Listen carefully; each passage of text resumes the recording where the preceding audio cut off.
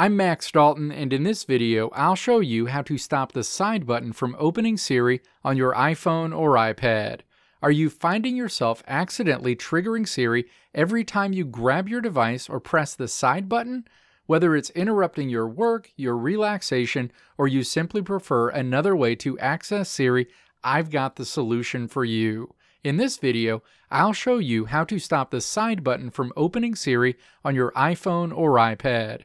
This simple adjustment in settings can help prevent those unintended Siri activations and customize your device to better suit your needs. Now let's walk through the steps to stop the side button from opening Siri on your iPhone or iPad. Step 1. Open the Settings app on your iPhone or iPad. You'll land on the settings screen.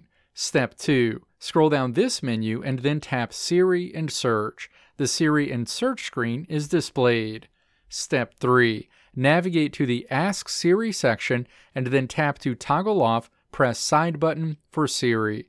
Going forward, the side button will no longer open Siri on your Apple iPhone or iPad.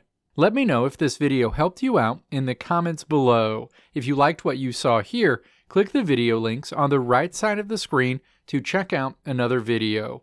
Or click the logo on the left side of the screen to check out my tutorial website at www.maxdalton.how.